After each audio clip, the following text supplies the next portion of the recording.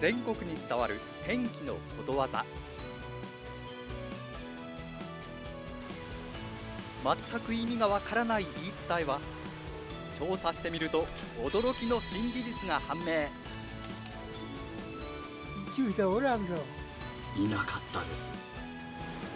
先人の知恵の賜物かそれとも根拠のない迷信か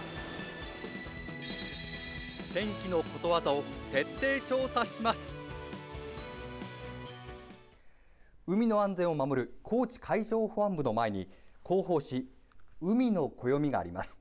この中に天気のことわざが書かれてあるんですね。で中でも私が気になったのがこちら。土佐で怖いは横目か白か。何のことやら全く分かりません。ということでことわざの発祥の地とされる室戸市へ。室戸岬町の港で漁業関係者に聞き込みを開始します。土佐で怖いは、はい。横目か白かという言葉ご存知ですか？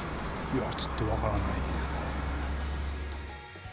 漁師歴40年のベテランは土佐で怖いは横目か白か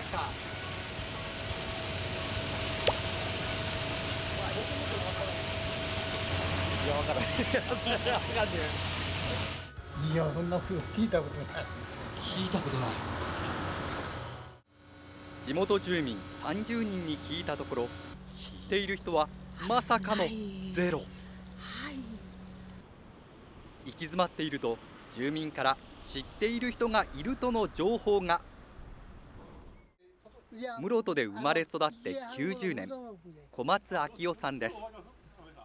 もう若い時から知っちゃったね。土佐で怖いのは横目か白か横目言うたら純さんのこと。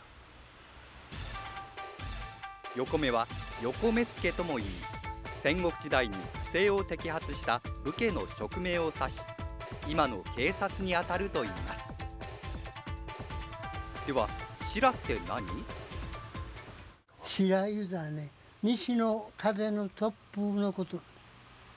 船も何も全部帰るば風が吹いた昔はね。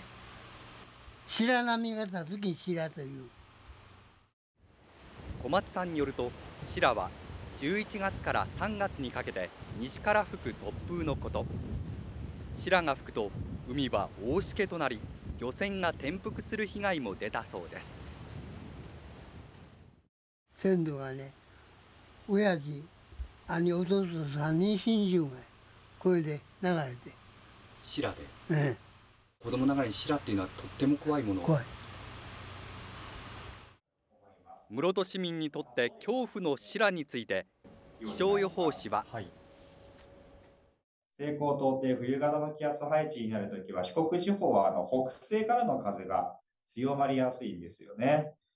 北西の風はですね、こう通せもするものがない、あの、周防灘から豊後水道を抜けてくる。風が太平洋に抜けてきた後は、北西からの風がだんだん西より、西に変わっていくんですね。で、これが室戸付近に強い西風をもたらしまして、海上では波が高くなると。これがおそらく白だと考えられます。実際に室戸では去年11月18日冬型の気圧配置の影響で西からの風が強まり最大瞬間風速21.7メートルを観測。暴風警報が発表されました。最大瞬間風速20メートル以上となりますと、本当にこう何かに捕まっていないと立っていられなかったりとか、波の高さでいうと3メートル以上になるようなことが考えられるかなと思います。そうするとやっぱりこう船もかなり危険な状況になるんじゃないかなと思います。これからの時期もかなりこの白には注意が必要になるかと思います。さらにこのことわざには驚きの続きがあることが分かりました土佐で怖いのは横目か白かまだまだ怖いのは鶴の戦地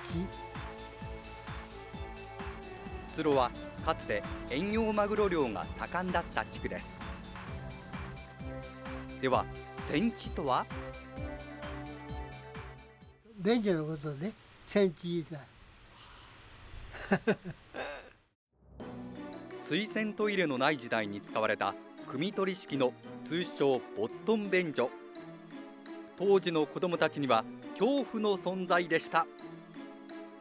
俺は怖いそこ落ちそうやか。大人用のボットン便所では子供は足を大きく広げる辛い姿勢に。